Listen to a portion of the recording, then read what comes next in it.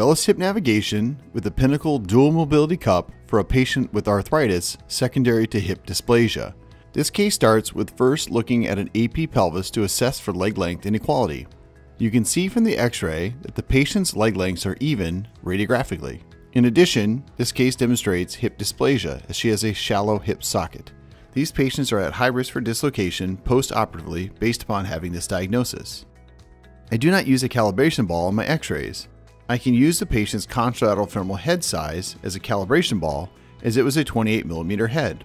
Using the VELYS templating function for this patient, I've selected a 54mm Pinnacle cup and a size 7 high offset stem with a plus 1.5 head.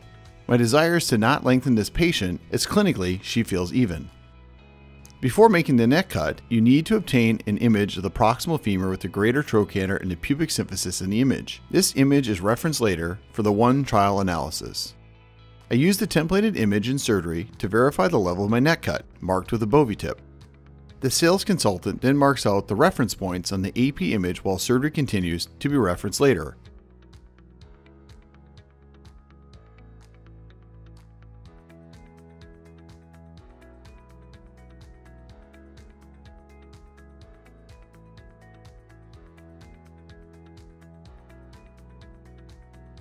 Ream the acetabulum and select the cup size. Placement of the cup is done by first obtaining a neutral pelvic image. The cup is impacted in place using Kincise. VELYS is then used to tell you your current cup position. With my first attempt here, my cup did not have enough anteversion. With Kincise, I can easily reposition a cup by backing it out and reinserting the cup. Here the cup is in my preferred safe zone with the goal for this patient being near 43 degrees of inclination and 23 degrees of anteversion. A real Pinnacle dual mobility liner is placed and seated.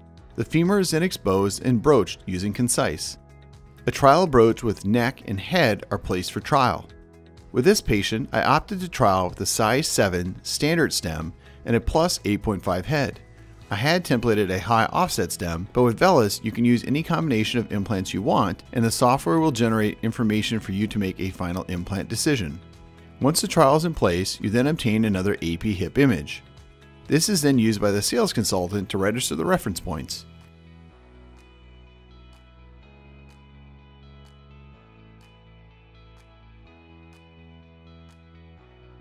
You then run the VELYS software and a one trial chart is generated.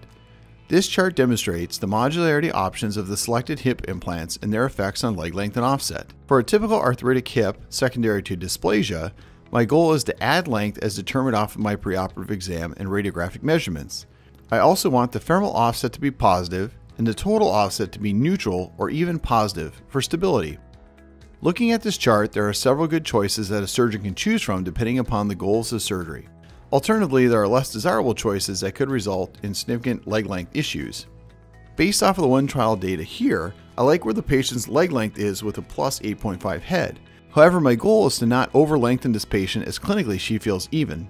I know that with a standard stem, she'll have both positive femoral and total offset numbers. I know I want to dial this patient's leg length into perfection, so I then decided to place a real size 7 standard stem and to retrial the one trial with the final stem in place.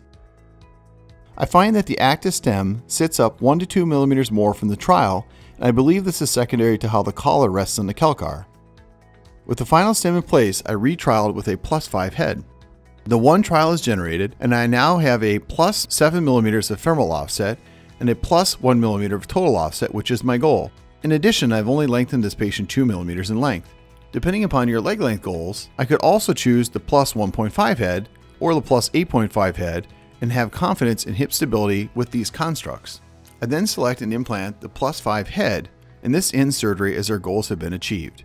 This demonstrates the ease of use of the one trial analysis with VELYS Hip Navigation to go from trial to final implants with accurate, data driven decisions.